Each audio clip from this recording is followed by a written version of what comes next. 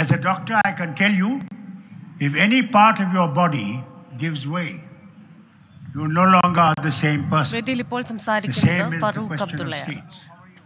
If any state remains behind, India cannot say that we are going to be mighty in some years and we will beat in the next five years, we'll be the strongest in the world in every sense.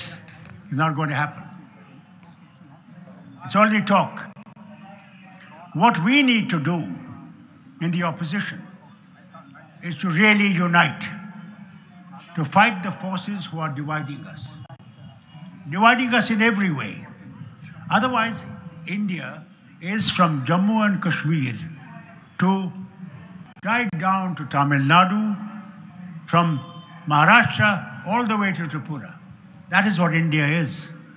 Multiple languages, multiple religions, multiple cultures.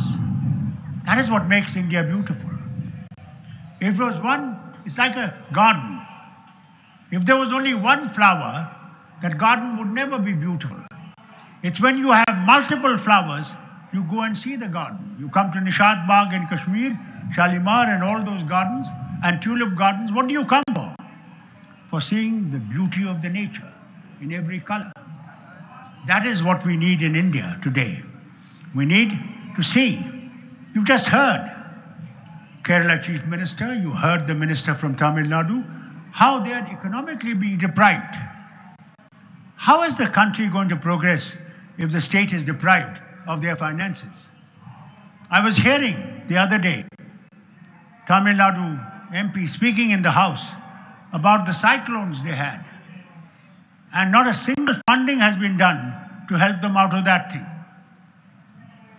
Union government's funds are not theirs only to decide.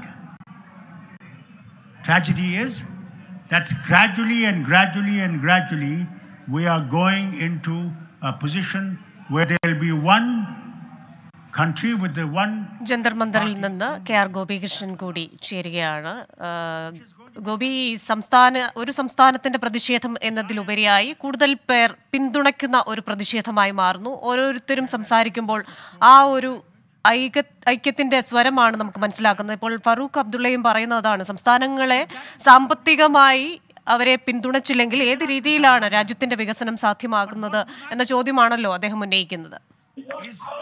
Krishna Krishna പറഞ്ഞതുപോലെ തന്നെ കേന്ദ്ര അവഗണന നേരിടുന്ന സംസ്ഥാനങ്ങളുടെ ഒരു കൂട്ടായ്മ രാഷ്ട്രീയ കക്ഷികളുടെ ഒരു കൂട്ടായ്മ എന്ന നിലയിലേക്ക് ഈ പ്രതിഷേധത്തെ മാറ്റാൻ കേരളത്തിന്റെ പ്രതിഷേധത്തിന് കഴിഞ്ഞിട്ടുണ്ട്. അതിന്റെ ഏറ്റവും വലിയ ഉദാഹരണമാണ് ഈ വേദിയിൽ നിറഞ്ഞു നിൽക്കുന്ന ദേശീയ നേതാക്കളുടെ സാന്നിധ്യം. കൃഷ്ണ സൂചിപ്പിച്ചതുപോലെ തന്നെ നാഷണൽ കോൺഫറൻസ് നേതാവ് ഫറൂഖ് അബ്ദുള്ളയും ഏതാണ്ട് ഇതേ രീതിയിൽ തന്നെയാണ് ഇപ്പോൾ സംസാരിച്ചത്. കേന്ദ്രവും സംസ്ഥാനങ്ങളും തമ്മിലുള്ള ബന്ധത്തെ തകിടം മറിക്കുന്ന സംസ്ഥാനങ്ങൾക്കുള്ള സാമ്പത്തികമായ അവകാശങ്ങളെയും അധികാരങ്ങളെയും ഇല്ലാതാക്കുന്ന കേന്ദ്രത്തിന്റെ കടന്നുകയറ്റത്തിനെതിരെ സംസാരിച്ച തമിഴ്നാട്ടിലെ മന്ത്രിയെ സൂചിപ്പിച്ചു മന്ത്രിയുടെ വാചകങ്ങൾ സൂചിപ്പിച്ചുകൊണ്ടാണ് ഇപ്പോൾ ഫറൂഖ് അബ്ദുള്ള സംസാരിക്കുന്നത്. നേരത്തെ ബൽറാം സൂചിപ്പിച്ചതുപോലെ തന്നെ രണ്ട് സംസ്ഥാനങ്ങളിലെ മുഖ്യമന്ത്രിമാരെ ഈ വേദിയിൽ കൊണ്ടുവരാൻ കേരളത്തിന്റെ പ്രതിഷേധത്തിന് കഴിഞ്ഞിട്ടുണ്ട്. മുഖ്യമന്ത്രി നേരത്തെ സംസാരിച്ചപ്പോൾ സൂചിപ്പിച്ചത് സംസ്ഥാനങ്ങൾക്ക് നൽകാനുള്ള നികുതി വിഹിതം വെട്ടി നിഷേധിക്കുകയും കേ- സംസ്ഥാനങ്ങളുടെ പദ്ധതികളുടെ അവകാശം അതിന് മുകളിലുള്ള ഒരു അവകാശവാദം കേന്ദ്ര സർക്കാർ ഉന്നയിക്കുകയും എന്നാൽ കേന്ദ്രാവിഷ്കൃത പദ്ധതികൾക്ക് പോലും വേണ്ടത്ര വിഹിതം നൽകാതിരിക്കുകയും അങ്ങനെ അക്ഷരാർത്ഥത്തിൽ എല്ലാ അർത്ഥത്തിലും സാമ്പത്തികമായി കേരളത്തെ ഞെരുക്കി കൊല്ലാൻ വേണ്ടിയുള്ള ശ്രമമാണ് കേന്ദ്ര സർക്കാരിന്റെ ഭാഗത്തുണ്ടാകുന്നതെന്നാണ് ഇതിന് ഒരു രാഷ്ട്രീയ നിറം കൊടുക്കേണ്ടതില്ല എന്നായിരുന്നു മുഖ്യമന്ത്രി നേരത്തെ പറഞ്ഞിരുന്നത് അതേസമയം തന്നെ കൃഷ്ണ നേരത്തെ സൂചിപ്പിച്ചതുപോലെ തന്നെ സ്വാഭാവികമായും ഇതിന് രാഷ്ട്രീയ പ്രാധാന്യം കൈവന്നിരിക്കുന്നു ഡി എം കെ തമിഴ്നാട് മുഖ്യമന്ത്രി എൻ കെ സ്റ്റാലിന്റെ അസാന്നിധ്യത്തിൽ അദ്ദേഹത്തിന്റെ മന്ത്രിസഭയിലെ മന്ത്രി പളനിവേൽ ത്യാഗരാജൻ അല്പം മുൻപാണ് വേദി വിട്ടത് അദ്ദേഹത്തിന്റെ സാന്നിധ്യം ഇവിടെ ഉണ്ടായിരുന്നു. നാഷണൽ കോൺഫറൻസിലെ ആ, ഫറൂഖ് അബ്ദുള്ള ഇപ്പോൾ സംസാരിച്ചുകൊണ്ടിരിക്കുന്നു.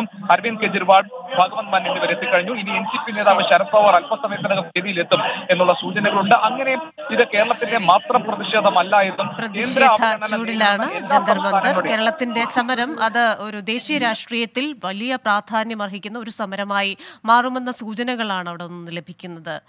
പഞ്ചാബ് ഡൽഹി മുഖ്യമന്ത്രിമാരും തമിഴ്നാട് മുഖ്യമന്ത്രിയുടെ പ്രതിനിധിയായി ഐ ടി മന്ത്രി പളനിവേൽ ത്യാഗരാജനും അടക്കം ഇതിൽ പങ്കെടുക്കുന്നുണ്ട്. ഈ വാർത്തയിലേക്ക് തന്നെ തിരികെ എത്താം. ചെറിയൊരു ഇടവേളയ്ക്ക് ശേഷം.